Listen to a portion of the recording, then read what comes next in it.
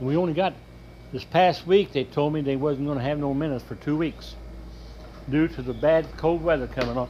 That's all right. Put it in your pocket. Cold weather coming on, Yeah. and uh, imagine Paragould was down there. They're going to maybe take two or three days off. And what's it supposed to be? Three degrees, two degrees, one degree. Something ridiculous. So right now, the only thing I'm done is the. This is the minnow I got right now, and that's a toughie. That's Tuffy. A, that's a chub. Oh, that's a chub. So you've showed me chubs before. Right, that's a toughie. Why it's They're- called a tuffy or a chub? They're tougher, stay alive a little longer, and uh, I think down there in Florida, this may be the only thing you can get Gotcha. You don't have say on what minnows you you get from them. to a certain size. But right now, I ain't got no say at all because they're not got any in stock. Waiting on them, maybe the warmer weather come on, and uh, that's where I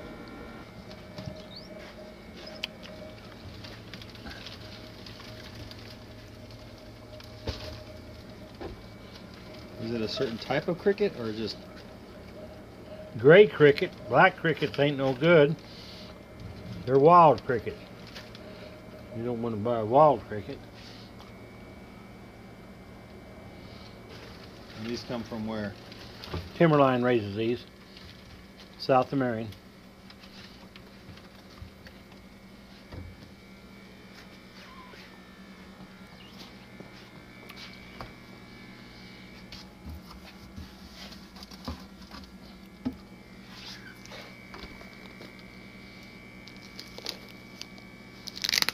Here's the mealworm.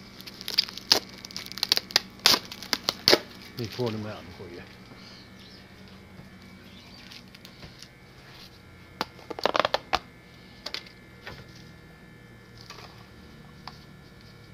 What's the difference between that and a wax waxworm? night and day. You've heard me say that before. I know. But this is a hard bodied. Okay? Right. And this is more or less to feed pets. Uh, it used to be a good bait fish, but anymore it's the waxworm has tucked these over. Gotcha. Now here is another one. This is called a superworm. Ooh.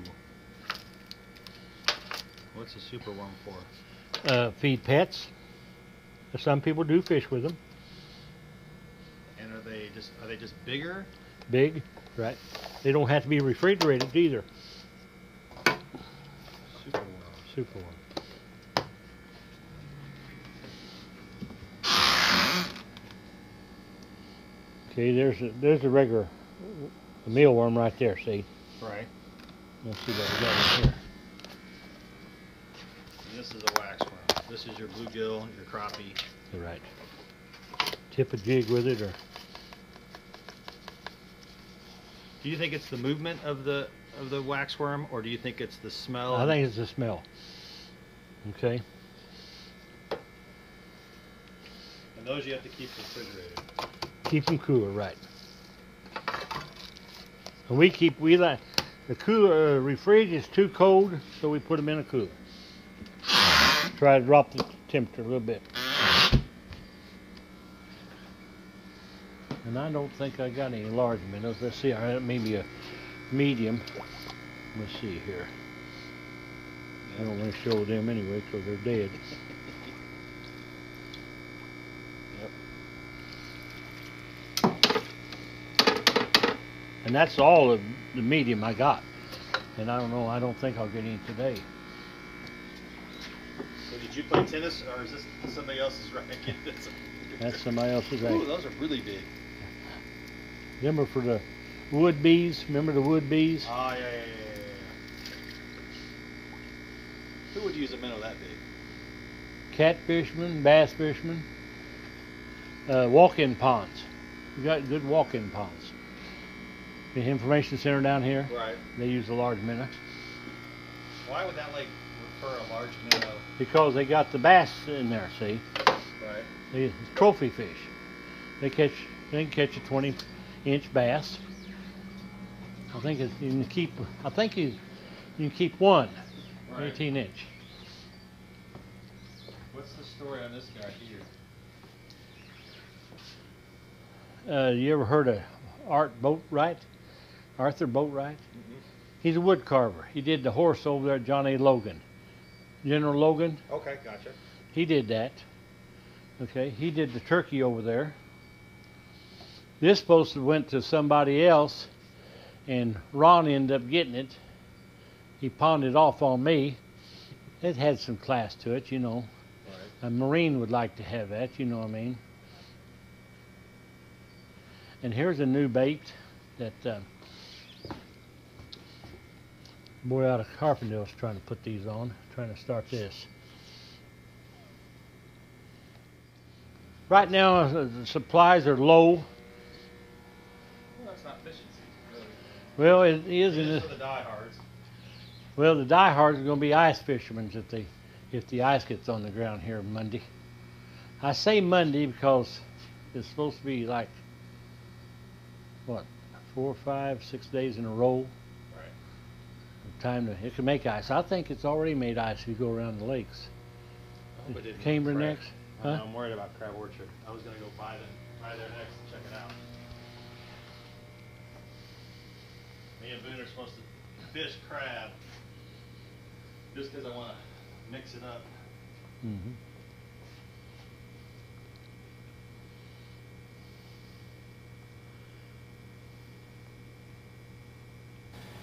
All right. Yeah, I could mess up pretty easy on this, couldn't he? Not have something on.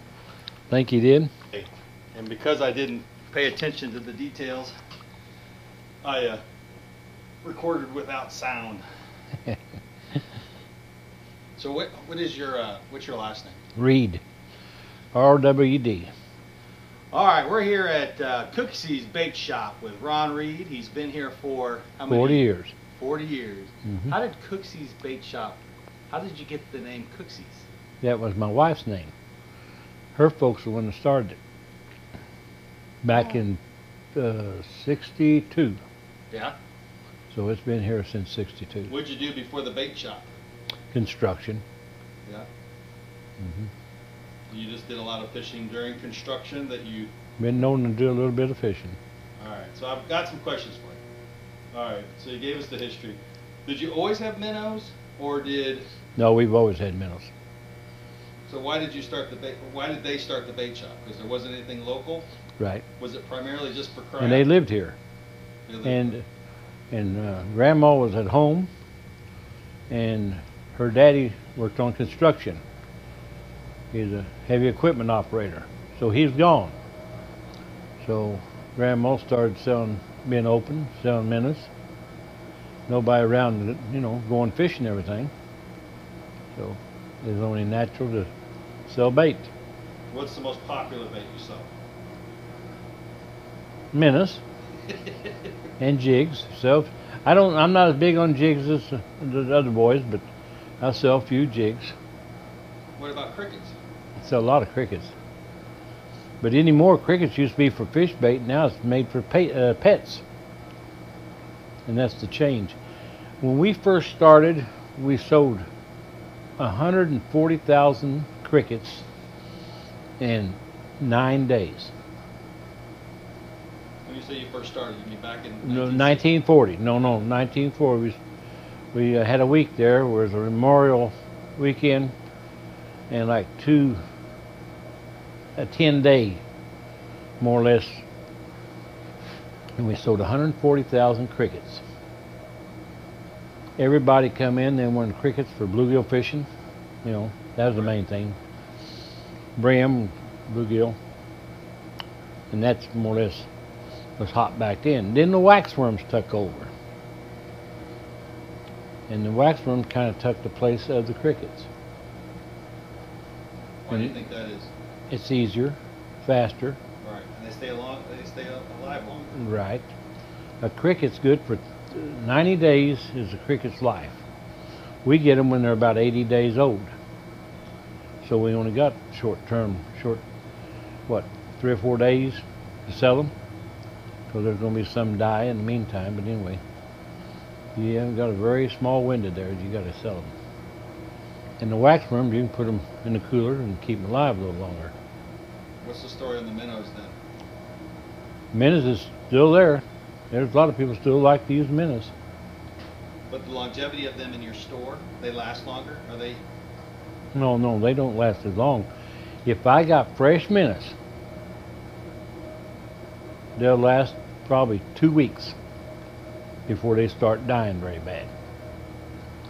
Now, if they're old minnows when I got them, I'm doomed. And it depends on whether they sell a lot of minnows in Paragould, Arkansas.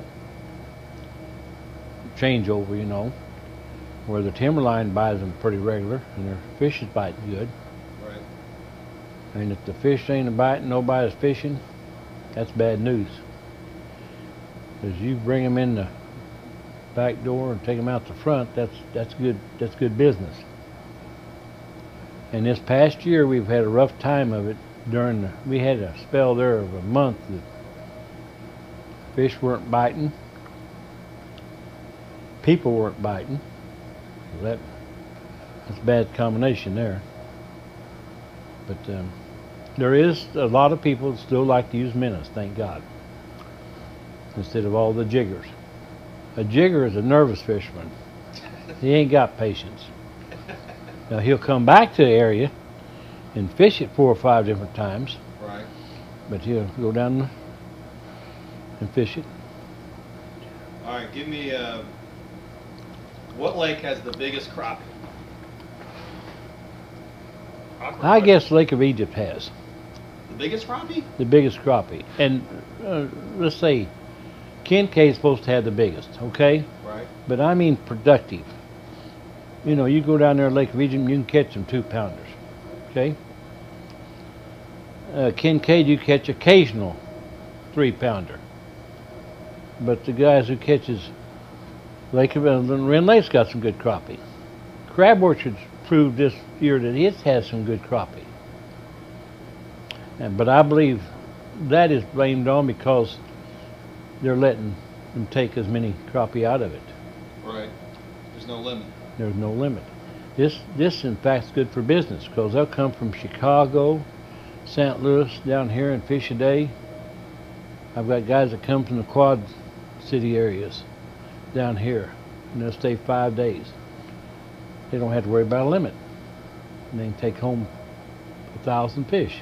So in my opinion, crab has the, the worst reputation in terms of the size of fish that you're going to catch. But I don't think that's true. Not this year. Not this year. There, this came on, be- but because I think it's come on is because that there's more little fish taken out. Right. So you got more food for the big fish to eat on. And that's, but I'm afraid when Bickers goes, we get a new man in here on the biologist that he might think, hey, this is the way it should be now. You know, Right. new kid on the block thinks he's going to change things. I hate to see that coming. So you're worried that they will put a limit on crab.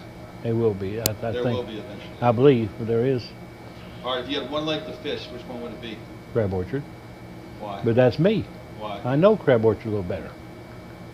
I don't know Lake of Egypt. I don't know K, uh, Kincaid. You know, what about but- Grassy and Devil's Kitchen? You got they're this right good. They're good lakes. They're good lakes. Um, and you got a few people to fish it hard and heavy. And Little Grassy probably was the one known to go out and catch it, two and a half, three pounder occasionally, you know. Right. But you don't hear too much of it anymore. And I don't know why. It's just maybe less people fished it. I don't hear much people talking about Devil's Kitchen. I mean, other than Devil's for bluegill or, or red ear. Devil's Kitchen's a hard lake to fish because it's so deep. But and the good fish always came at nighttime. Fish it up to midnight around the dam.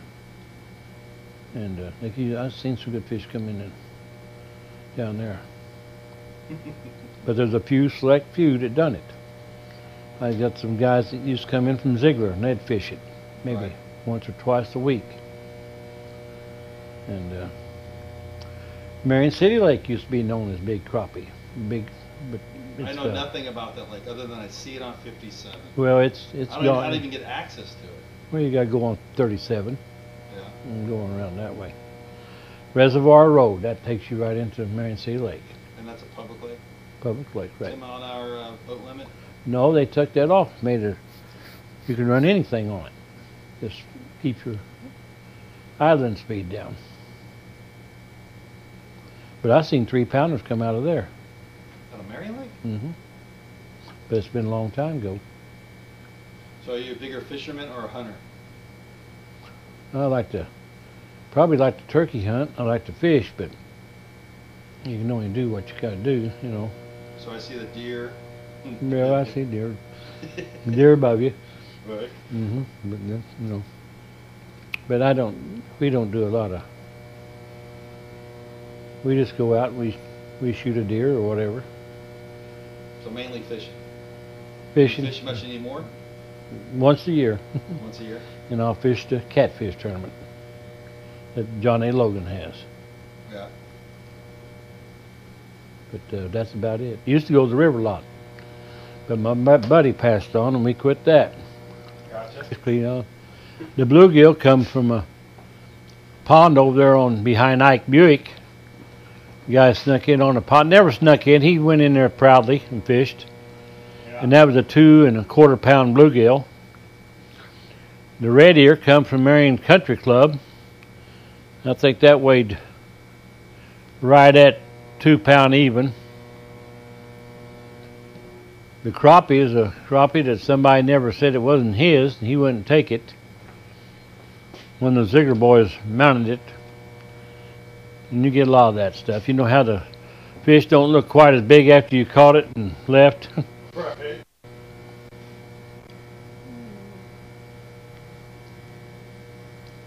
What's your best bluegill lake? I probably know the answer. Mermet's probably the best. You think it's still the best? Yeah. Boy's killing it out there. hmm I had the guys went lake this year and had 72 red ear. Two guys went down and caught 72 red ear. I've even heard higher, way higher than that. I mean, I talked. No, no, I'm talking about up to pound, pound and a quarter, pound and a half red ear. Oh, gotcha. They've been doing that out of that lake for a long time. When That's was the last time you sold a trailer park? Well, them, been pretty well regular. Trailer parts is something we sell. That's one of our better deals. Trailer parks? hmm Oh, right behind you. That's what you did. The bearings. Trailer bearings. Trailer springs has died down a little bit since I don't sell trailers anymore. But I still try to have them on stock in case somebody needs them. And that's one of the better jigs I think's in the shop is the old fuzzy grub. You ever use it? No. That's that's cottonmouth. Where's that? Is it here? On back on the right. You run right into it. On around the bend, on around, on around, on around, turn around, oh, right there. Them fuzzy grubs. Oh, so any of these guys? Yeah, You think that's the best bait for? I think that's the, one of the that's the, one of the better baits that you can give to a, A new, a fisherman because he can that does its own self. That's the it hair. It is you just walk it, the docks, and it will jig itself. Work. owning about, the worst thing owning a bait shop and the best. is working, working it, and not being able to fish it. You know, but you still you're all the BS, and that's the main thing about a bait shop. All the BS you hear. If it wasn't for that, it wouldn't be worth a damn.